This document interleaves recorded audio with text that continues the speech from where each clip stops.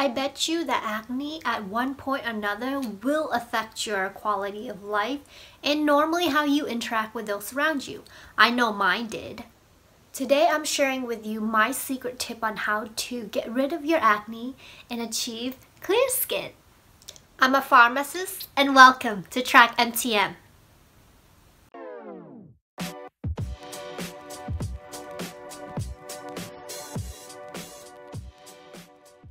We are going to do this in three sections again. The first one is going over possible OTC over-the-counter or prescription products that you can use. Basically the personal trial and error list that I've done over the years and how to apply my secret tip or recommendations appropriately. The first on the list is going over the over-the-counter products and prescription medications as well. Just to name a few, over the counter you see more like salicylic acid or benzoyl peroxide. For topicals, you can have like let's say clindamycin or tretinoin.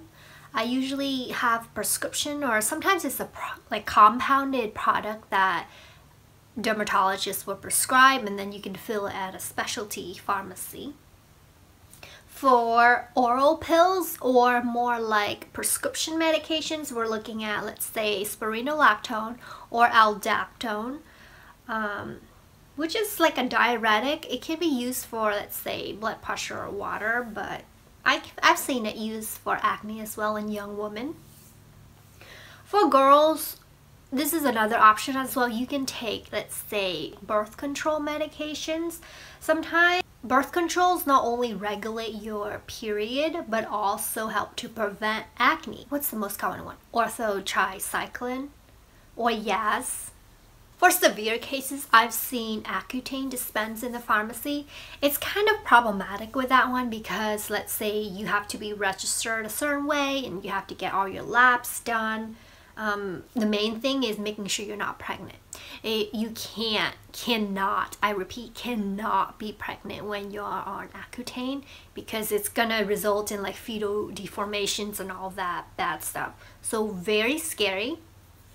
And definitely it will dry up your skin like crazy, okay? So it's not a good option. Um, I've never tried Accutane. What I've done is through, like I say, over-the-counter products here's my personal trial and error list. Back in the days, I would try like starting with the lower end of things like face wash or like a mask as well. I tried lotion, a moisturizer, like even spot treatment here and there. Did not work, okay? And let me tell you, I even tried the benzoyl peroxide like up to the highest level, highest percentage was like what, 10%? Ooh, I started, well, I started with 2.5% and then kind of gradually working my way up. Uh, and it still, it dried up my skin like crazy, so it wasn't ideal. And then on top of that, I would get stressed and then putting more spot treatment on and then just the whole, my face is like a jungle. It's like a whole mess. In benzoyl peroxide, honestly, it's not good if you're, let's say, gonna planning to become pregnant? Like what about those women who are pregnant and they want to use something for their acne as well? Like do they have to stop using benzoyl peroxide all of a sudden and then have to try something new? It was just not wasn't very wasn't a good choice. I thought okay well I tried everything over the counter didn't work so what should I do? Go to my primary care doctor and then prescribe something new? So I try clindamycin phosphate. It's like more of like a topical that you put on twice a day, so in the morning and then at night. Clindamycin, it's basically like an antibiotic. Typically for acne though, you only would see it through topical. I mean, if it's an oral, then it's more for some other kind of infection. Let me see, like, do I even have a picture I can show you? Who am I kidding? That was like a dark period of my life. I didn't was so self-conscious. I did not keep any photo during that time frame whatsoever. And I remember, oh my gosh, I used to wear like heavy, heavy foundation on my face just to cover up like all the pimples that I have. It was like all over my forehead, like on my like side of my cheek, like down to my chin as well. Sometimes like even goes to my neck. I didn't have any back acne though, but that was really, really like I try to avoid that as much as possible. Now to the point where I don't even wear foundation anymore. Yeah, I do wear makeup like blush and highlight, that's my favorite. But no foundation whatsoever. I do spot conceal here and there if sometimes I do break out, tend to like, due to like stress. Okay, are you ready? So here's my list that I tried. Neutrogena on the spot acne treatment, Clinique acne clear skin starter kit, Panoxyl, again that was the benzoyl peroxide up to 10%. Clear Persa Gel 10%, Clearasil, Differin, Olay Scrub. Yeah, I remember that. I like scrubbing my face like crazy every single day. And even Proactiv. I spent so much money on Proactiv and it didn't do anything for me. And I was so, I was frustrated. I was frustrated to the point where nothing works and like I thought to myself, what are my options? Because I don't want to take Accutane. And I want, I wanted so bad something or somebody to tell me what are my natural options. So I had to go through, like I say, a lot of things because nobody told me any different. And I spent tons of money, tons of money on products that did not work and this is not what this channel is all about. This is not the type of video where I recommend a product, not so much. I would tell you the concept. I don't have a favorite brand or a pro favorite product to tell you specifically, but I, if you just follow the simple concept behind all these conditions, then you can effectively apply it to your daily life. Here's my secret tip that I still use to this day. And the tip is, are you ready? Tea tree oil. Now it doesn't matter, like I say, who cares about the brand, who cares about what specific one, because I know you're gonna ask, oh, what brand do you recommend? Doesn't matter, but here's what I can tell you. You wanna get, let's see, therapeutic or pharmaceutical grade, okay? That's the most important thing and you want it to be 100% pure tea tree oil. Okay, I repeat 100%, not diluted, not 70, not 80. Usually it should say on the packaging, 100% natural and pure. That's what you should go with. And did you know that tea tree oil comes from Australia? I didn't know that. But, okay, so let's get nerdy for a moment, okay? Scientific ingredient is called Melaleuca alternifolia. That's a scientific name.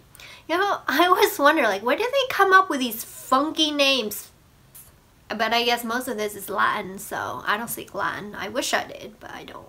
Okay, what you should know first before diving into this, okay? First thing I want to tell you, because this was strange to me the first time I used it, the smell, it's very potent.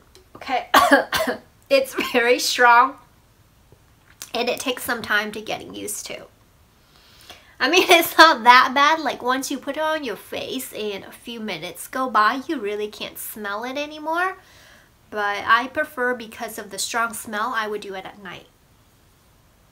So it has antibacterial, anti-inflammatory, antiseptic, and antifungal properties. So four different four different things.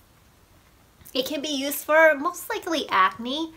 I've heard of use for like athlete's foot before and even like contact dermatitis and, or even head lice. Some people like put it in their shampoo and then use it to just kind of wash everything off. And, ooh, mm, personal favorite, wound healing.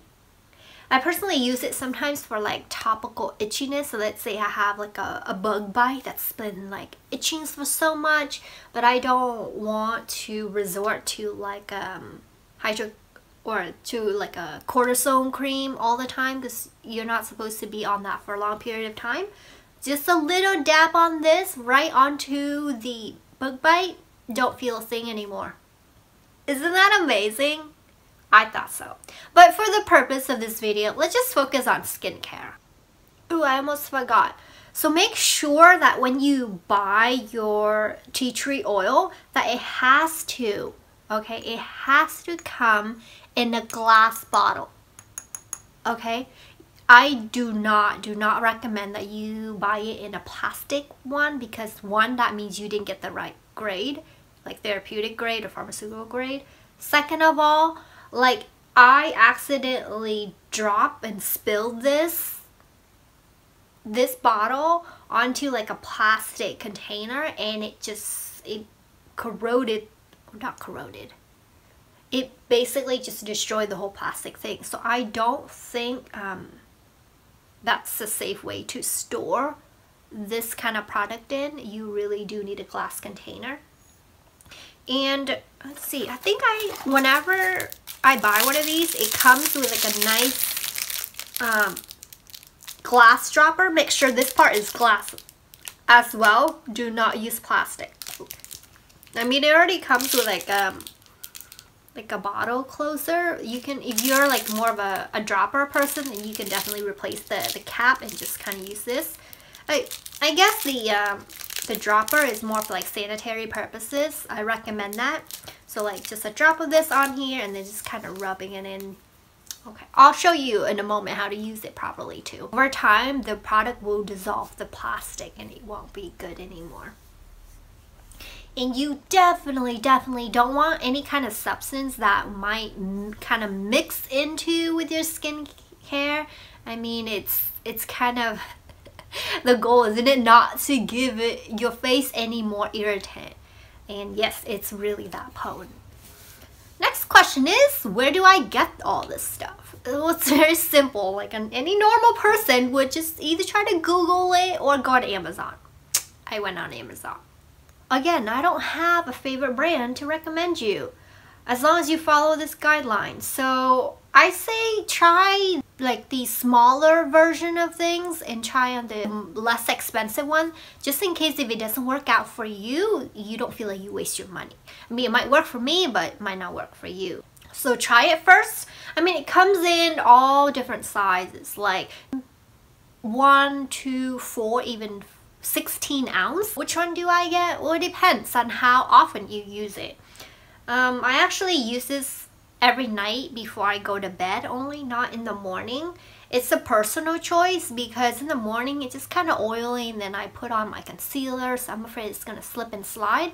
And like again, like I say, the, the smell kind of gets to you so only at night.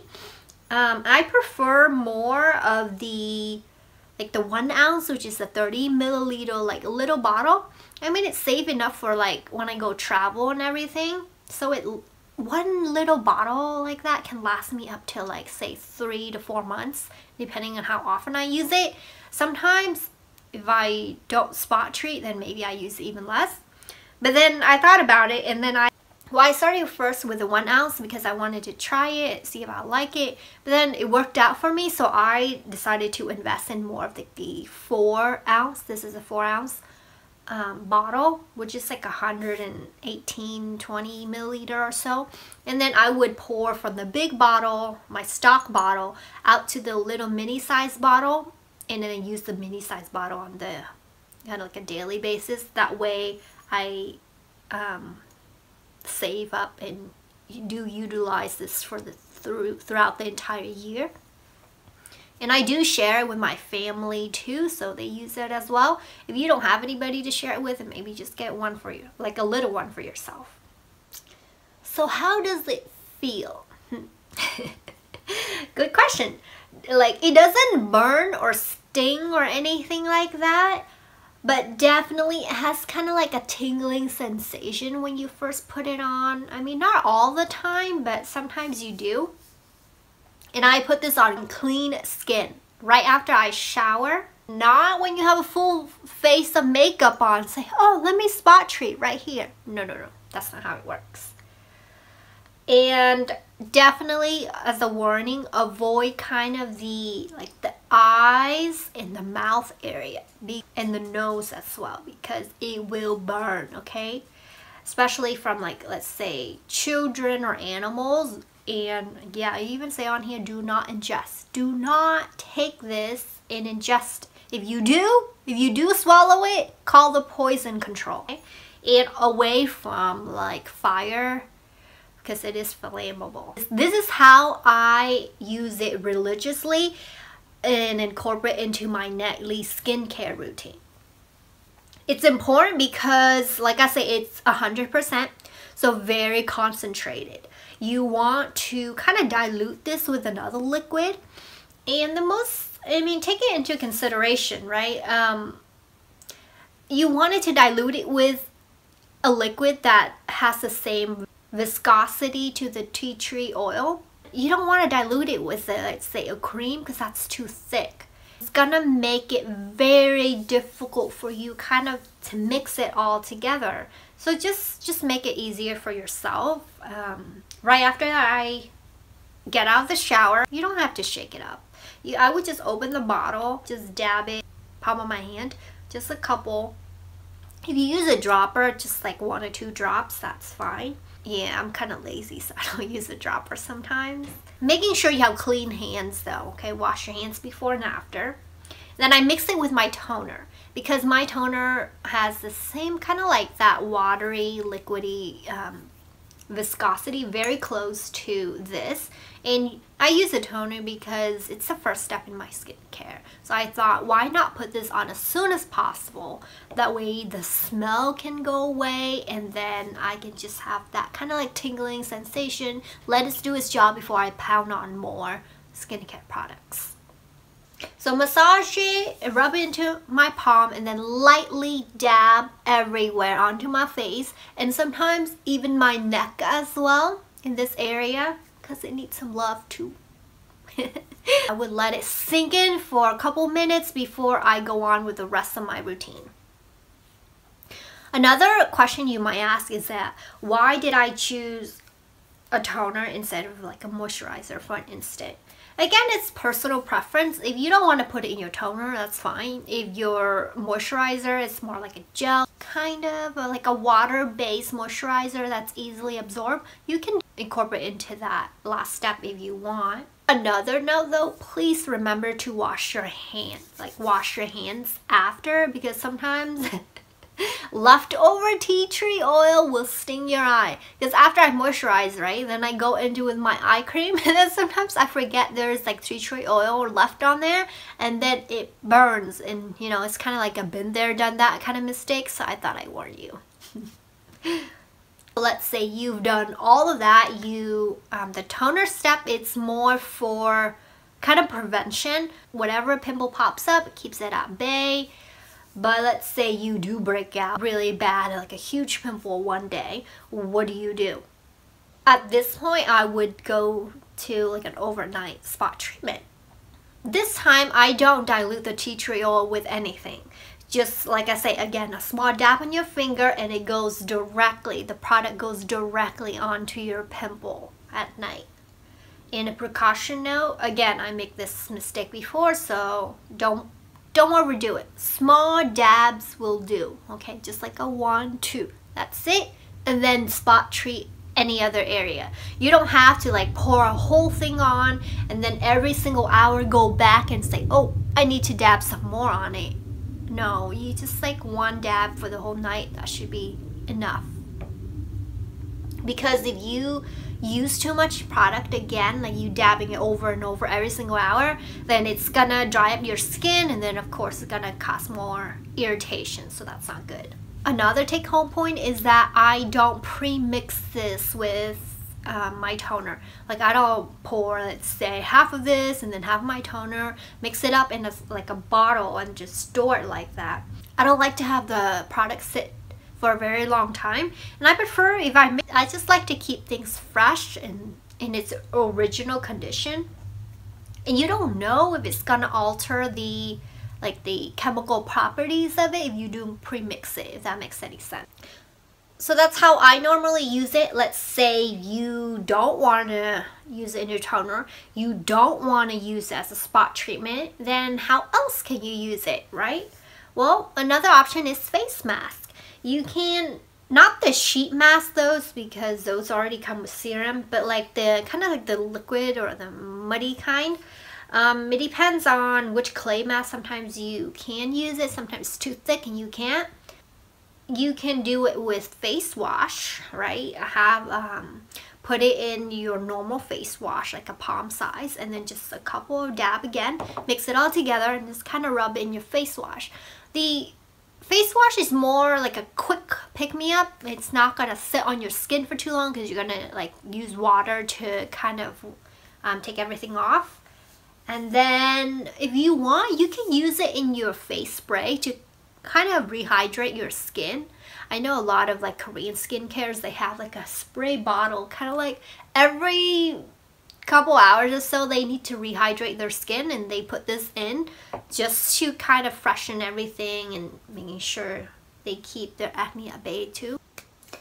Or mix it with your lotion like your normal body lotion. If you want to keep like itchiness away to use tea tree oil on its own just mix it with your lotion and put it on and it can help too.